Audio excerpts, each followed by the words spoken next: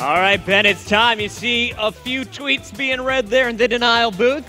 Can't let it get to your head, though. You're only up 2-0. Can they finish 3-0 with a clean sweep over Curse Black? It's looking really good for them, I'm not going to lie. They, they have that momentum, and they just need to now close it out. Something that you see a couple of teams struggle with, just closing out series. Going to Blitz, it's known as the momentum shifter on Call of Duty Ghost. It's must win now for Curse. They, they cannot afford to lose this, otherwise they will go down to the loser bracket, join the two European teams, Epsilon and TCM, who sadly lost earlier on today. They're already down there.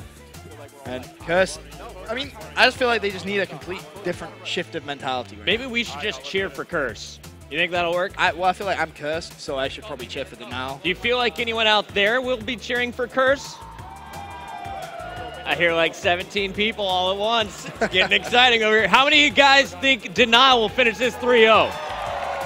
A big, big proportion of the crowd. How many of you think that Curse can bring it back? All right, it's actually about 50-50 here. Let's get things started with this Curse squad. We're already into the Blitz game, and it's 1-0 off the break. Denial, they're going to watch Enable score in their bases. He picks up the two-piece. As that's actually going to be 2-0. Reverse, there we go, flips around. You got Mochila and Enable, both with a cap each.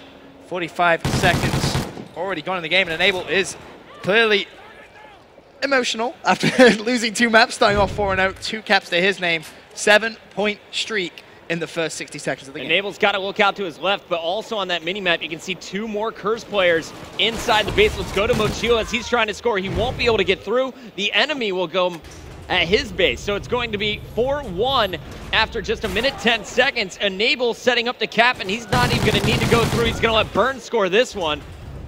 And Burns, after getting the cap, is going to have some defense work to do as Mochila will fall. Now this is going to be important plays here from Burns. Just needs to just stay up, see if they can push out of that base by slaying. That's going to be the big thing. They don't want to turtle. Front door opens. Enable picks up a kill on the right-hand side. Now Burns just going to shut that front door. Is he going to push out? Yes, he is. But they have lost a cap. The assist comes in, but there's still one player from Denial. This is actually going to be Noxide, who's going to pick spotted. up the kill. No, he doesn't. Tipsy turns around. Managed to pick up that. Enable has pushed on the ground. Seven and one. Three caps to kick off this Blitz game. And that was really a nice exchange by Curse. Although they did let one go through, they just instantly punished. And now you got Mochila doing a solid job locking down that left side. He finally falls. Burns pushing out on the right with Enable, constantly putting pressure down the middle. Yeah, good stuff from him. Enable still in the middle of the map. Just going to try and clean up. Player actually the opposite side of that train. He's going to look. Pre-fires Oh! misses the knife. It That's looked good to me, man.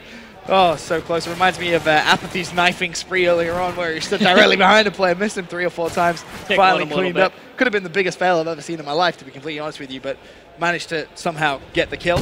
Enable back on defense, though, Uh-oh. Puckett. He is going to get taken out, and this could be a good push now for Denial. Oh, big stops though. Tipsy and. Mochila each get a two-piece, all four down. Clear map, free cap. Here comes Mochila down the gut. And you're going to have some protection on that left side from Tipsy trying to set up the spawn trap. They haven't managed to get that cap just yet. They do have map control. Now, can they try and get the spawn kills, slaying the enemy's base? Tipsy runs it in. Nice stuff from him. Burns still in a position to try and potentially get a relay here, but he is going to need to pick up that kill first. He's actually avoided it two seconds. If he knee slides, he is going to get the cap. Does so. So Curse extending that lead back to six now with a minute 50 as Tipsy just apparently can see through walls. That was impressive. Yeah, he spotted a foot and he executed it. And there's another big kill as Tipsy is turning it up. He's now on a five screen. You said that's the hype man for the squad. Keep your eye on him. Are they able to feed off this momentum in our first four minutes? They are crushing 9-2. 90 seconds to go still on our first half. And right now you have three Curse plays with 10 kills, double digits already. A minute and a half left. Burns not far behind on eight. And it is just that slaying category, which really is opening up the map a lot. However, Denial have played that smart. They have one player who has just waited for Curse to push up. It's going to be legal. He is going to slide the sneak through. Now reduces the deficit to six. However, Enable is there to put it right back to seven. Really having a sensational game right now, Puckett. Down seven. How do you come back? Because we've seen it a few times, but it's very rare after five plus caps I that, mean- a, that a team is able to mount that comeback. Going back to that FaZe game, you know, Base had a seven cap lead in, in the replay. Right. They had a five cap lead in, in the original uh, game of Blitz Freight, and then it was obviously replay. They had seven in the second map, and it's very, very hard. But I mean, we saw TCM pretty much do it. They got a little bit unfortunate, and FaZe obviously were able to, to come out on top of that. But it, I think, to be honest, it's just a, a, mental thing. You know, you need to get your head right. You need to make sure that you're, you're not thinking about oh, we're so far behind, we're not going to be able to do it. You need to make sure you play solid defense as well. Because something Rambo pointed out was when you have that much of a lead, all you have to do is overextend. Shots going down in all directions. Burns trusting his teammate to get the kill. They do, and that will end the round at 11-4, as it doesn't look like anyone's going to be in position to score. Tipsy, can he get there? Three seconds, not going to happen. So, six-point lead going into the half for Curse. They need to build upon that hype. You doing some Golden Boy counting right now? I did do some Golden Boy. It's good, man. It's good. Don't worry about that. That's my bad. Seven points, not a big difference here, but seven is the magic number seven. here for Denial. They got to mount this comeback. Otherwise, we're going to see another domination. And it's once again a losing record on Sovereign Dom, which would be game number four. Here we go. Can Curse Black stay alive? We're going to the captain, Tipsy. Tipsy trying to get the team hyped, that's for sure. 16 and 10 big difference compared to that last Search and Destroy we saw where he wasn't really playing at his best or at his full potential. That's for sure. He's starting things off by a sneaky underground push. He's going to shoot that gate, but Done. no one from Denial adapting, and he is going to get the cap and, and, and, punish them really for that. Nice plays here from Curse Black. There is a player going to score for Denial, but Tipsy keeping this one going. He's going to have a teammate in the base. It looks like actually that's uh, going to be, can't get to him in time. It was Burns going through there. Yep, and this is, again, what Rambo was, was saying, when you have such a big lead in, in Blitz, all you need to do is, is keep pushing.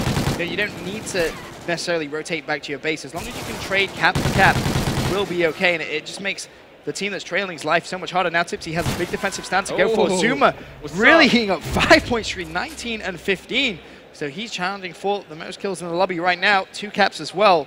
Keep your eye out on him. I think he could be the star of the denial comeback. Zuma has been my player to watch from the get-go for this Denial squad. Such an incredible Slayer, and you really need to start turning up the Slay game if you want to get back in this Blitz. Three minutes, 40 seconds left, so still quite a bit of time. There is a massive deficit, though, to overcome. Seven caps is not an easy feat here on Blitz unless you can set up a spawn trap and keep the relays coming. Zuma trying to make players double back to the base. All they got to do, though, is really stop the bleeding because it feels like every time someone from Curse Black is able to sneak by just like and just put this game further and further away. Yep, Burns did a great job of just pretty much running straight down the middle of the map, picking up a kill and sliding in for a cap because obviously now so focused on aggression. Sometimes to forget about that defensive play. A couple of kills now for Curse as well, so that is going to open up the map a little bit, allow Burns to push further forward as a player, just trying to hunt him down to take his time should be able to wait long enough for his teammate support, but no. Nope. You good. Teammates all actually going down. It's going to leave Moach by himself and nearly actually got turned on there. Wouldn't have been too good.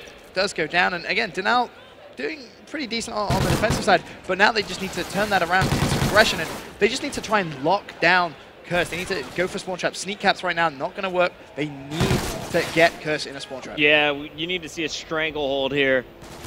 We'll but it's, it's, so hard to do that when you have Zuma with 23 kills and no one else you know, above 13. Yeah, Legal's at different. 9. Remember, this is the guy that was really shining in the previous games. Not doing his best when it comes to Blitz at double negative Vexed. Not much better at 12 and 21. He's going to try and get some things going. There's a two-piece in his base.